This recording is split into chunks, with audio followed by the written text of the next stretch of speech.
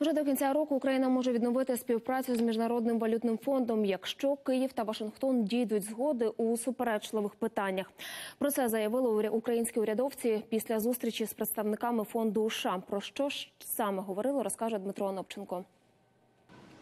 Двічі на рік у квітні та жовтні тут, у штаб-квартирі МВФ, традиційно збираються делегації з усього світу. Це фінансисти, е, міністри фінансів і керівники національних банків. І все для того, аби обговорити перспективи світової економіки на наступний рік. Втім, для кожної країни є ще одне питання, не менш важливе. Це просто в кулуарах обговорити програми співробітництва своєї держави із МВФ.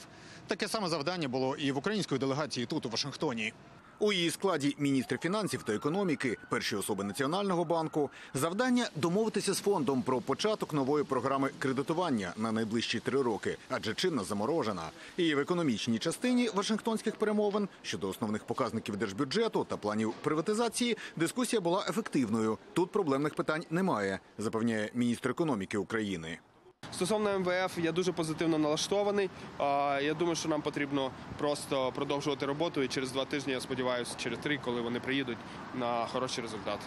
Тобто йдеться про візит до Києва чергової місії фонду. Під час перемовин у Вашингтоні вирішили, що це буде вже у листопаді, аби погодити решту питань, зокрема проаналізувати нові закони та їхній вплив на економіку. Ми, в принципі, виконали. Е, Практично все, що зазвичай від нас очікують. Зараз у них е, трошки інша проблема. Е, Парламент прийняв біля 70 законопроєктів, і багато з цих законопроєктів за останні, я маю на увазі 5 тижнів, багато з цих законопроєктів чекали роками. Да? В них зараз проблема інша, що вони не встигають зрозуміти, що ми встигли зробити. Це критично насправді, щоб ми до кінця проголосували бюджет і він пройшов.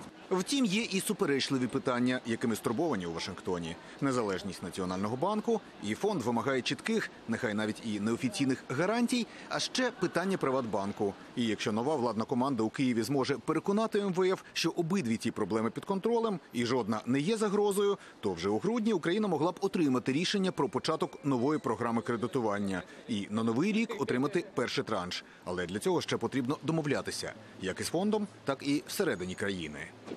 З Вашингтона Дмитро Анопченко, Сергій Дубінін, американське бюро телеканалу Інтер.